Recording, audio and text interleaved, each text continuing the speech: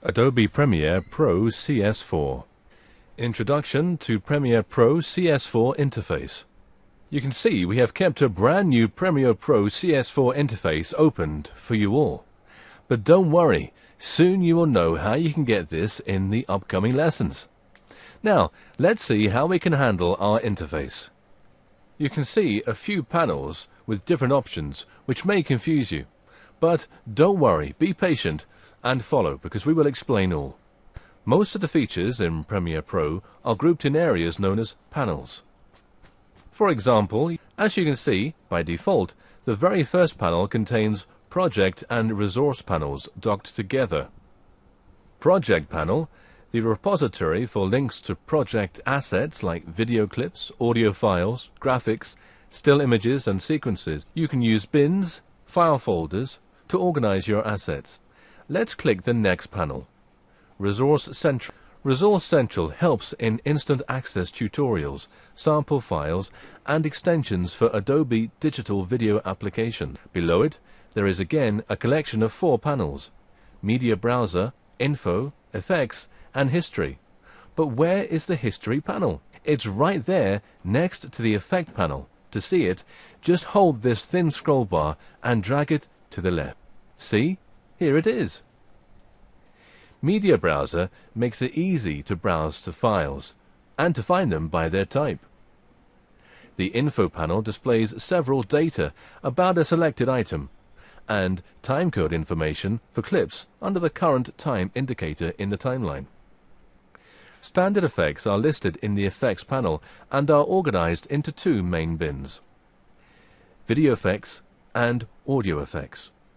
Use the History panel to jump to any state of the project created during the current working session. Note, above each panel we have this thin scroll bar. Just hold and drag it left or right. This is another collection of panels. Source Monitor, Effect Control Panel, Audio Mixer Panel. As you scroll a little, you can see the Metadata panel too. The source monitor plays back individual clips. In the source monitor, you prepare clips that you want to add to a sequence by specifying in and out points and the clip's source tracks, audio or video.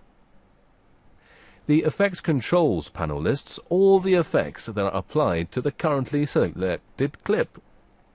Using the audio mixer, you can set volume levels of two or more audio tracks relative to one another. The metadata panel shows both clip instance metadata and XMP file metadata for a selected asset.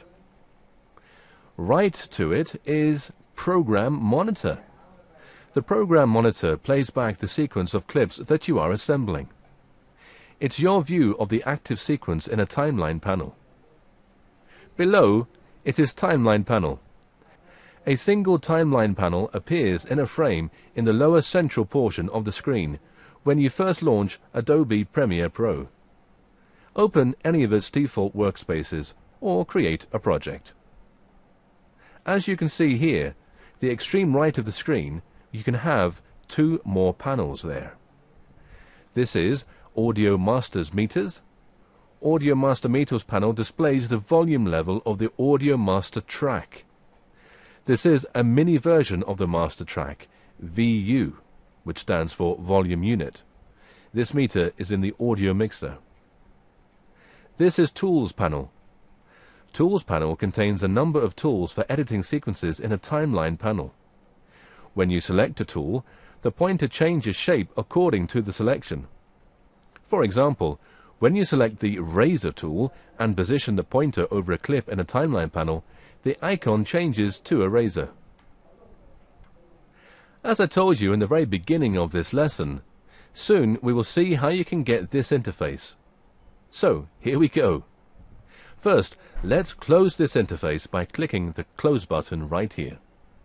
Click No, as we don't want to save the changes in this project. Now, let's create your first new project. There are two ways to open the software. Firstly, double-click the shortcut icon in the desktop. If the icon is not there, then click on Start menu, go to All Programs, Adobe Master Collection CS4, then Adobe Premiere Pro CS4. Right-click on it. As you click it, you will get a pop-up menu. Go to Send To option and click on Desktop Create Shortcut. You can see that the new shortcut icon is created here.